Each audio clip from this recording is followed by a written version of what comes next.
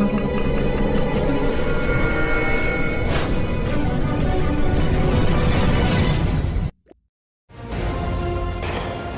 penonton Love Indonesia Budiman Di mana pun kalian berada bagaimana kabar kalian hari ini? Saya doakan semoga kalian selalu sehat dan selalu dimurahkan rezekinya. Amin. Timnas Indonesia kalah telak dari Thailand 04 Ini harapan Menpora kepada Sintayong untuk laga leg 2 Sungguh mengejutkan Menteri Pemuda dan Olahraga Republik Indonesia Menpora RI Zainuddin Amali mengomentari hasil laga timnas Indonesia versus Thailand di leg 1 final Piala AFF 2020. Tetap memberi dukungan kepada timnas Indonesia. Zainuddin Amali pun menyampaikan harapannya kepada pelatih timnas Indonesia Sintayong untuk laga leg 2.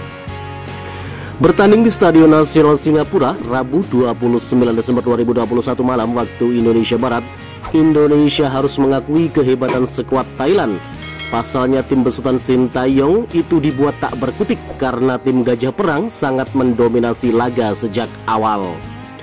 Terbukti Thailand sukses cetak gol cepat di menit kedua lewat Canatip Song Krasin kemudian di babak kedua tim besutan Alexander Polking itu menambah menambahkan kran golnya melalui Song Krasin di menit ke-52 Supacok Saracat di menit ke-67 dan Bordin Pala di menit 83 Hasil itu tentu menjadikan Indonesia dalam situasi yang sangat sulit.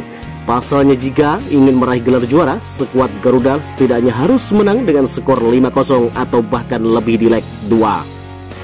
Kendati demikian, Menpora Zainuddin Amali tetap memberikan dukungan dan meminta kepada para penggawa timnas Indonesia untuk tidak menyerah dia berharap pada laga leg 2 final Piala AFF 2020, Sintayong memiliki strategi khusus guna membalikan keadaan.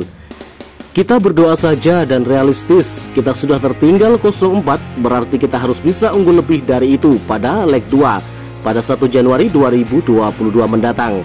Kata Menpora Zainuddin Amali dilansir dari situs resmi Kemenpora Republik Indonesia, Kamis 30 Desember 2021.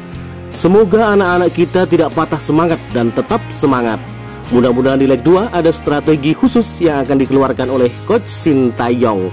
Tutup Zainuddin Amali sebagai Menpora Republik Indonesia.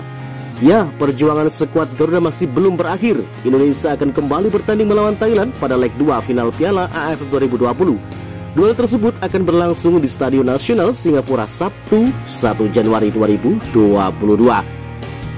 Dan marilah kita doakan bersama semoga timnas Indonesia mampu meraih kemenangan di laga final leg 2 melawan timnas Thailand. Bagaimana menurut kalian? Jika suka dengan video ini, nantikan video kami selanjutnya dan salam olahraga.